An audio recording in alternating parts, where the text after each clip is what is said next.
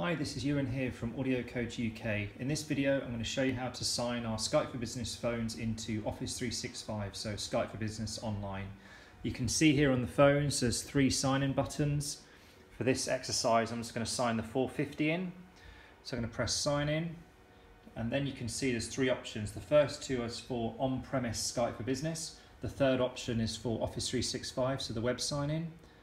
So I'm going to press OK the phone starts doing its thing and at this point I need to actually bring in my computer. So I'll put that there so you can still see the phone. You can see here there's now a, a URL that I need to browse to. So I'm going to enter that select it and it now asks me to enter my email address that the account's linked to. So I'm Buzz Lightyear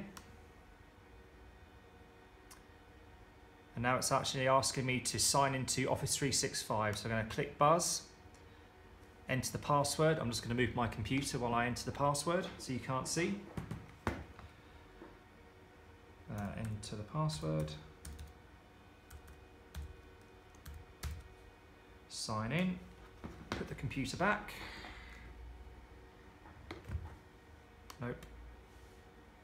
Okay, so it's now asking me to enter the pairing code which in this case is DMP Q SK Q FJ. Continue.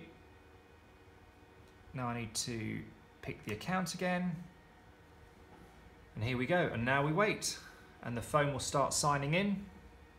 Let's move my laptop a little bit so you can see takes a few seconds for this to happen, so we'll just have to wait a bit. By the way, the process is exactly the same on the other three phones.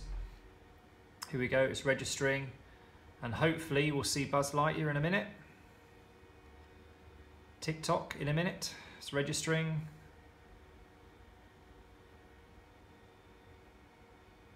Any minute now.